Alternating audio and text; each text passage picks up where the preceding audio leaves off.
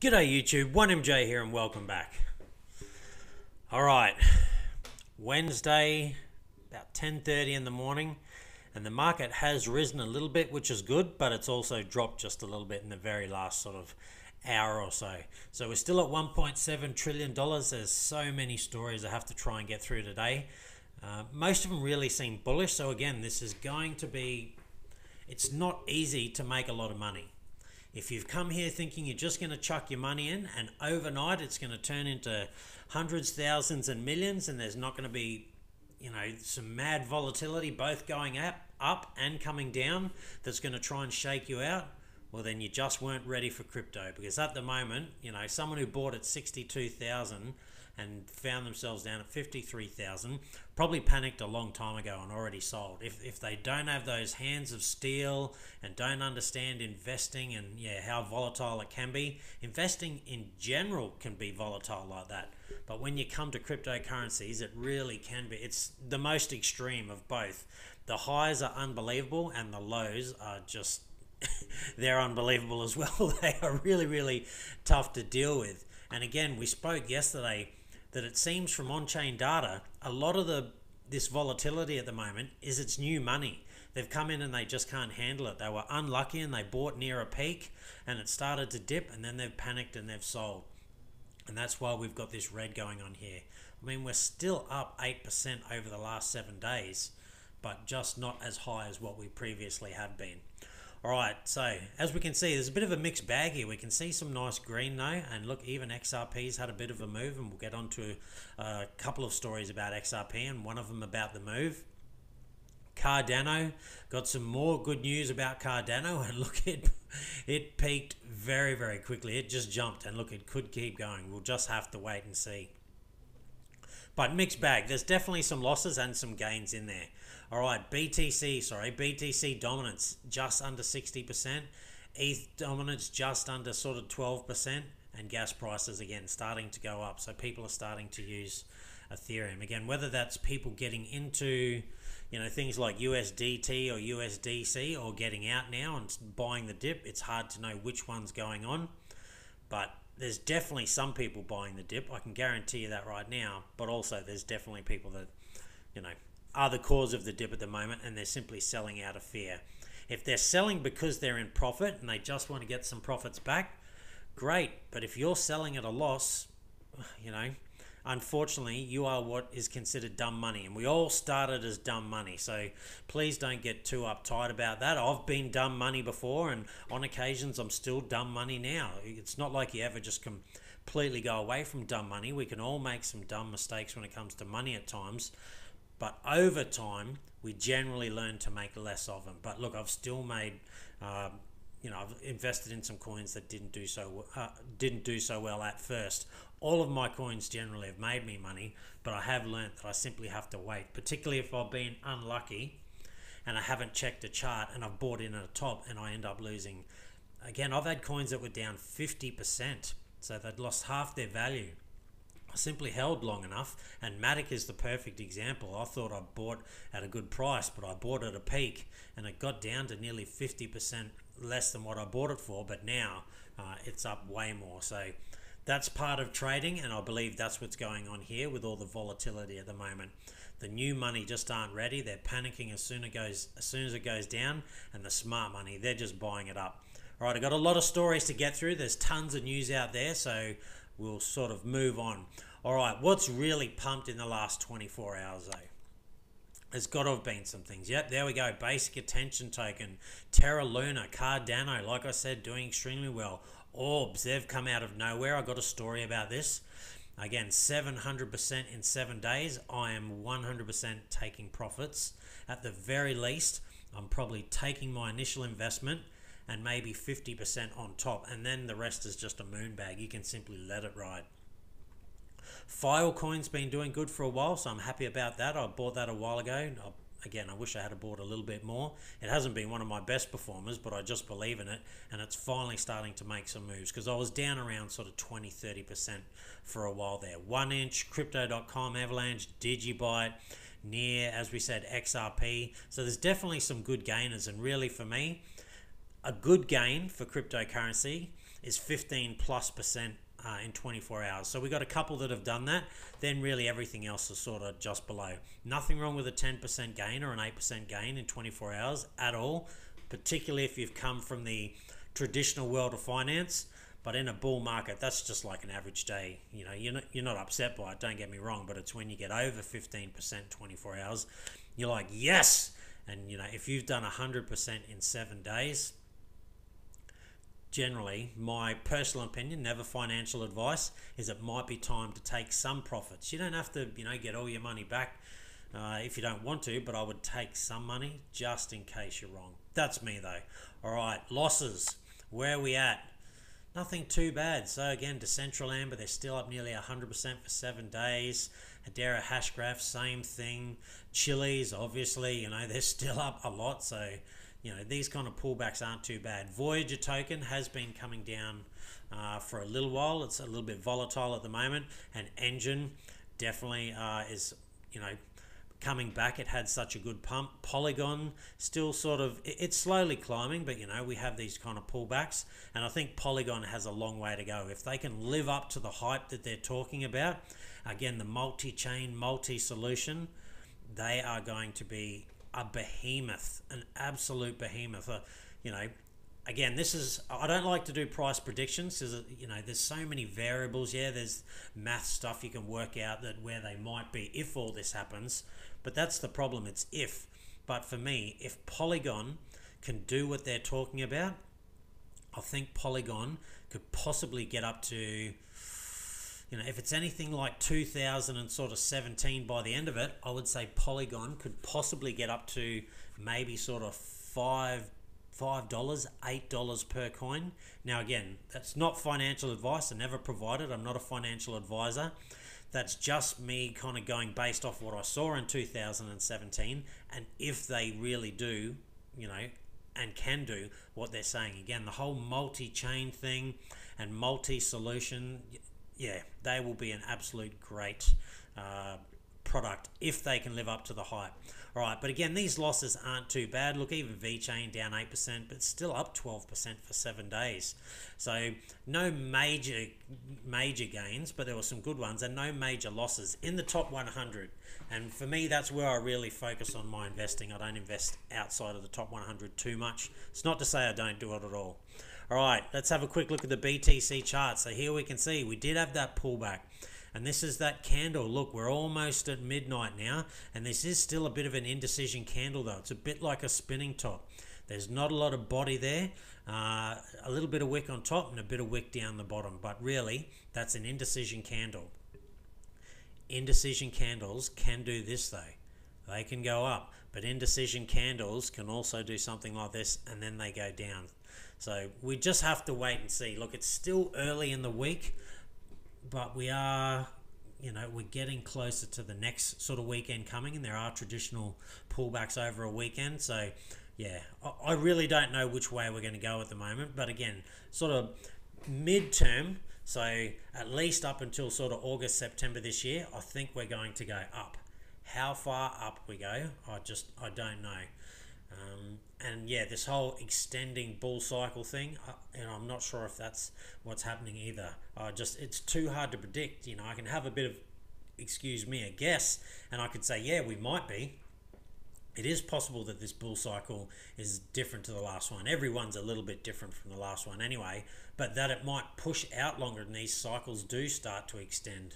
And then we have, you know, the peak of the bull run maybe next February or March, or maybe even longer out I just don't know yet. And really, I don't know if I'll ever be able to pick that. It'll just be, you know, I'll be making my mind up and decisions up as we go based on the news and what's happening on the charts and things like that. And particularly what's happening in the world around, you know, the whole money supply. As long as stimulus keeps being, um, yeah, basically passed out, you know, to everyone, then Bitcoin will just continue to go up. The dollar value will drop. It won't be until yeah, the printing stops, that we're going to find out if that will then change things or will that just still make it even more bullish again.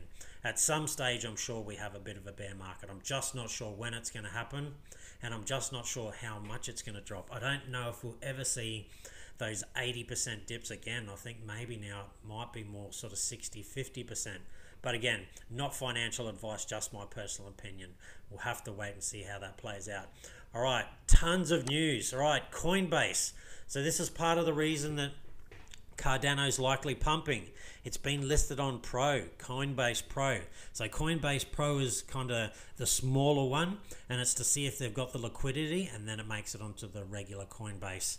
And I would say it most likely will, and what that might do for the price of Cardano, who knows? I mean, 20% now, and there'll likely be a bit of a pullback. It's, you know, buy the rumor, sell the news. So now the news is out. Could see a bit of a pullback, but long term, that really is bullish for Cardano. So great news, and anyone who's holding Cardano is probably extremely pleased with themselves at the moment. Uh, you know, the gains that Cardano has had have been unbelievable, and they're still not fully done. So, yeah, lots to look forward to for Cardano. Right, Ripple. This is really, really sad.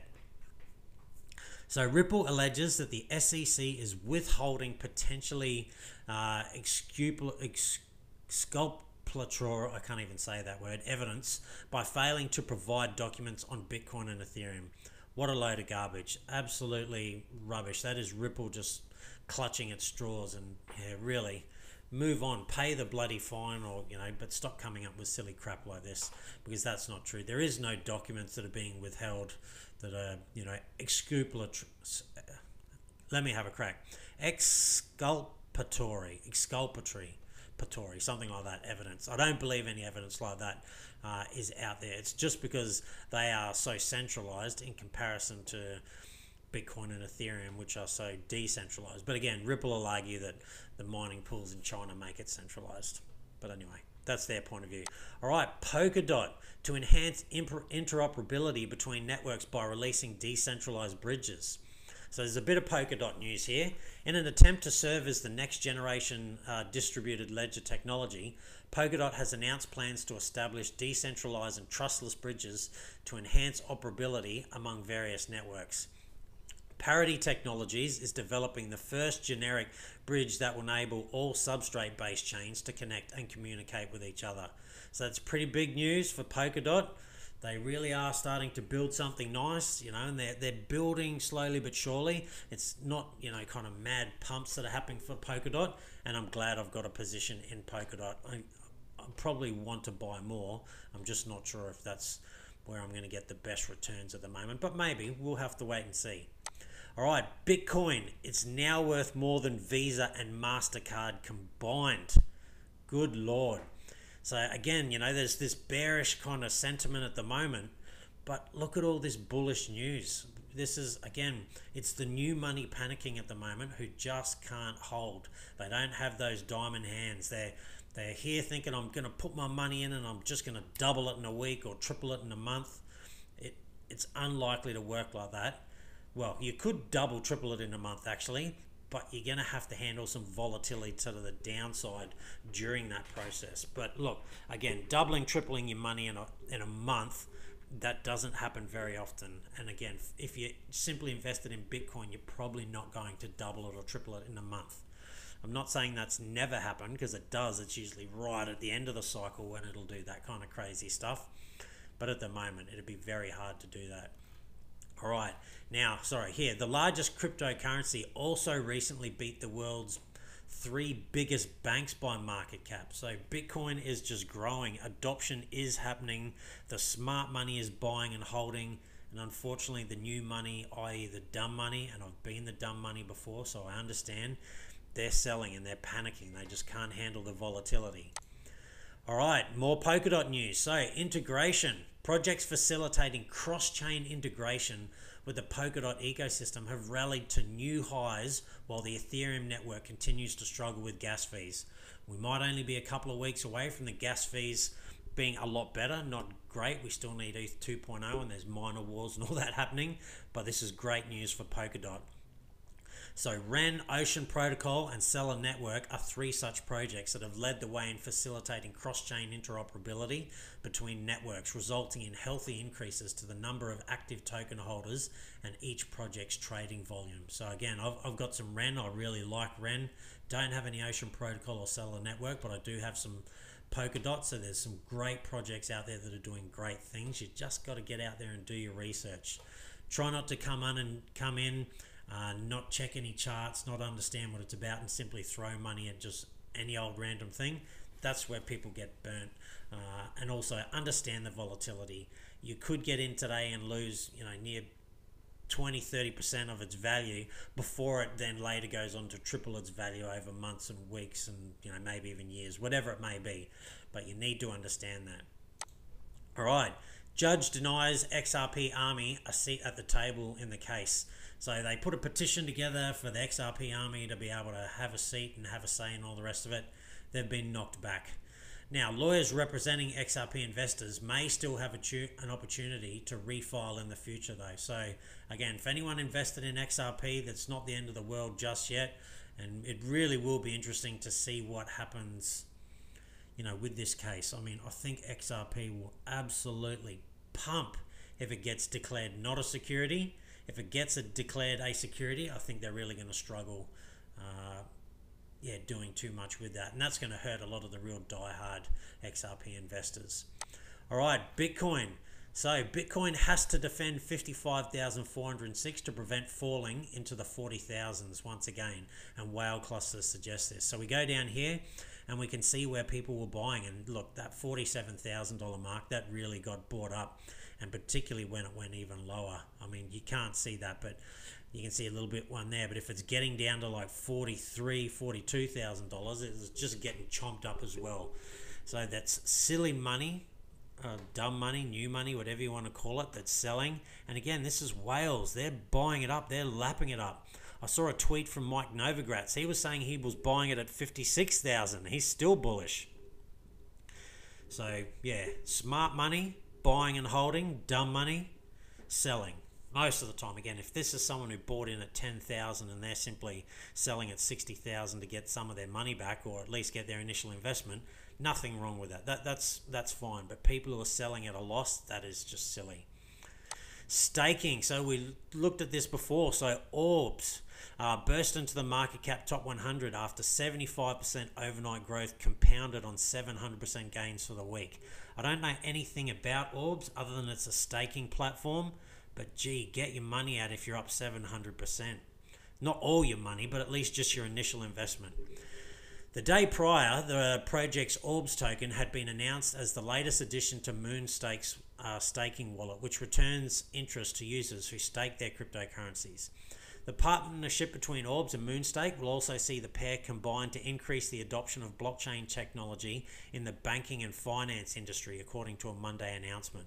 So that's pretty good if they're, you know, getting the traditional finance on board and all the rest of it. That's what we need. We need that, you know, that kind of back end stuff. And again, we spoke Aave is doing it with some banks that are backdooring onto Aave and all the rest of it. Back ending, sorry, not backdooring, back ending to help you know get some gains because banks just can't offer anything more than zero percent to maybe uh, 0.2 percent, 0.02 percent generally, and you know you go to cryptocurrencies and it's all five, six, seven percent and more.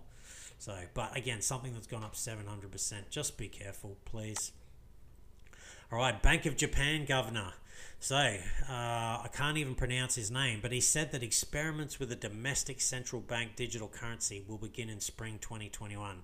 So, this is the way of the future. It is going to happen. It's going to happen very, very quickly. People just won't be ready for it unless they're obviously, you know, aware of the space, it'll literally, yeah, it'll be the flick of a switch and it'll go digital very, very quickly. There's still going to be cash for the oldies.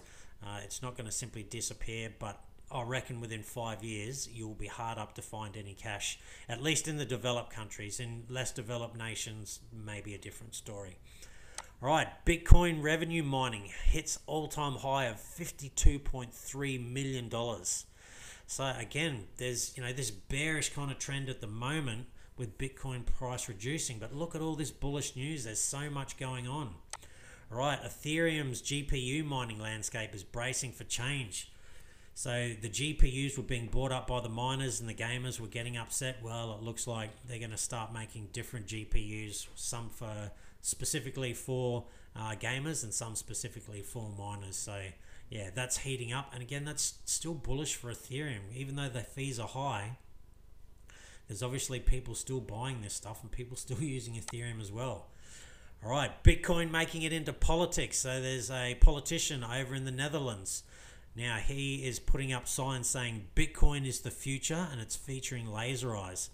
This is where it starts. Now he may not get into government, but if he does, he may be one of the you know people that then lead his government, the Netherlands, towards actually having Bitcoin as a reserve currency. It's a matter of time. It will happen.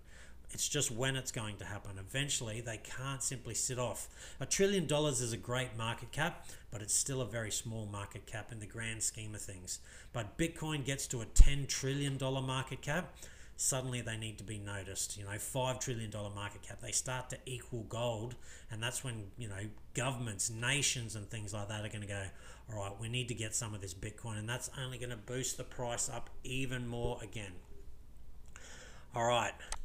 Bitcoin hands of steel, as we said, 70 sorry, 37% of Bitcoin supply hasn't moved since 2017 and 55% sat idle after 2018's bottom. So again, the the volatility at the moment, it's new money, they're just panicking and likely selling and getting liquidated on the leverage trading and things like that. The smart money is buying it up. We checked those charts before, particularly at 47,000. There was a lot of whales buying up, and the whales, they're simply just buying and holding. They're not interested in selling. Even if it gets to some ridiculous price, let's say Bitcoin manages to get to half a million dollars. Will they sell some Bitcoin? Absolutely, they will. But they're not going to sell, you know, they're unlikely anyway to simply sell tons of it because they know that that's just the cycle high for this time. It's going to continue to go higher because it's a finite supply. There's 21 million, that's it. A couple of million have been lost, and there'll never be any more.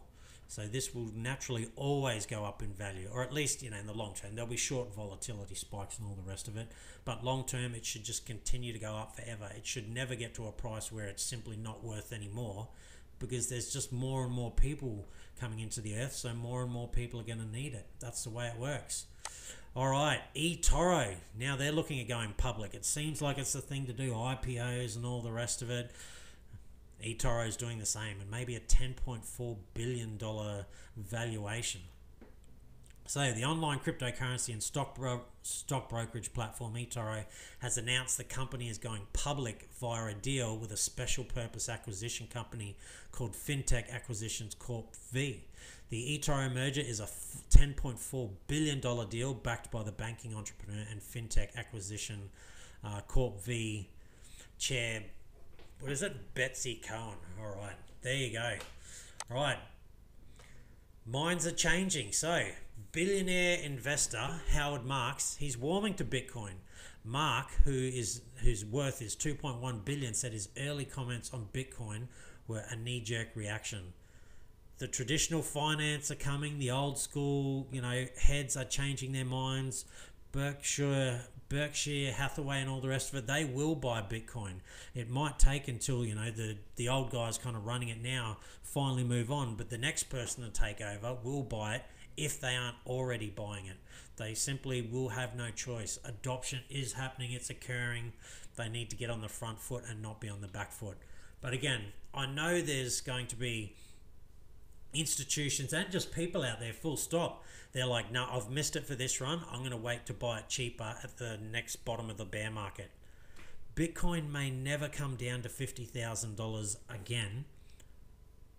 And if it doesn't, then you're just going to be buying it at higher prices. Again, never financial advice. Look, Bitcoin could correct way under $50,000, but it just might never as well. So that's the kind of gamble you take.